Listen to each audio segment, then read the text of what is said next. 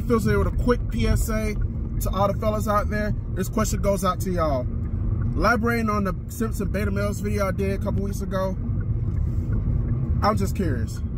Could any of y'all fellas do relationship type things with a female and not be in relationship with her? And be honest with me when you, when you ask this question. Could you really do it? And if you say yes, I need you to explain how. I'm gonna need you to try your best to make it make sense. I'm just curious. I just want some answers. Could you do relationship type things with a female and not be in a relationship with her? Let me know in the comment section.